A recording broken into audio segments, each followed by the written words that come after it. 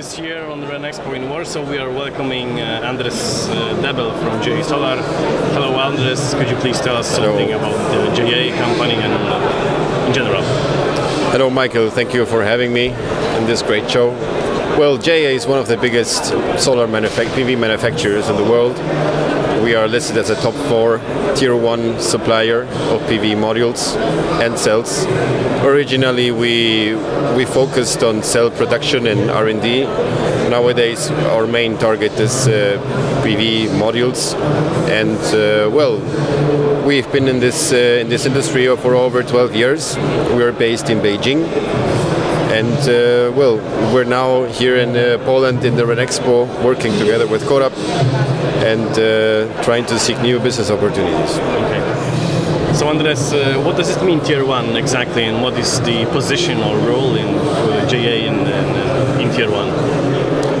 Well, Tier 1 has been defined by Bloomberg New Energy Financing uh, as a criteria to see how financially stable uh, a module manufacturer is.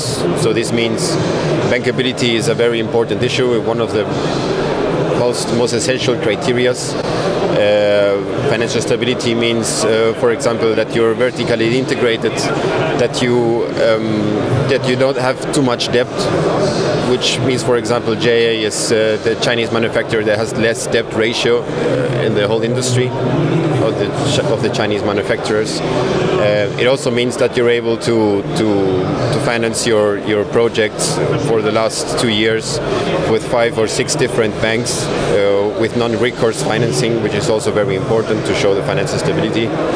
It also means that you that you use high quality products. Um, not that you only deliver high quality panels, which which is uh, which is very common nowadays, but also you you rely on high quality materials uh, for, for, for these for these modules.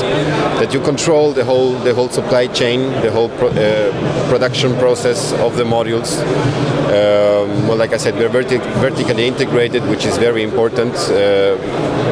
Also another criteria is that you that you invest a lot of uh, a lot of money in, in research and development for the generation of new technologies, for example, and for the whether for, for the increasing of the of the efficiency of the Okay, cells, so, for example. so Tier 1 is a group of, of let's say, most uh, strong companies.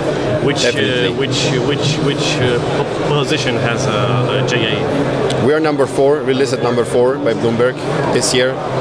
And uh, well, it, it's always our aim to be in top five, which we managed to be in the last uh, 12 years so far. So we're very good at that. And uh, we're a very, very financially stable company with a